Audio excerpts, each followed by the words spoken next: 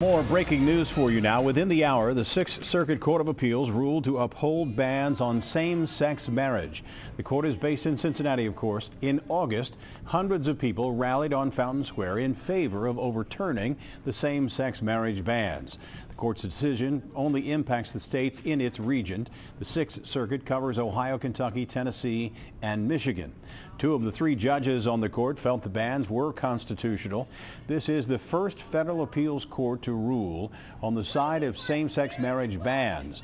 Now that courts at the same level are in conflict, the U.S. Supreme Court is expected to tackle the issue.